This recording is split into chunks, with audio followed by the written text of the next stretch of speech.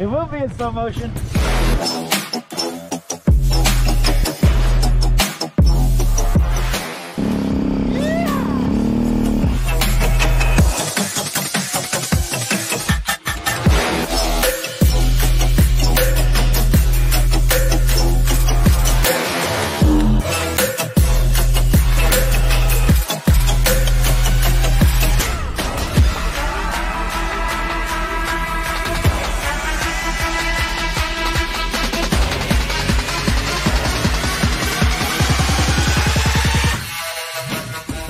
How's that for an old man keeping up with you?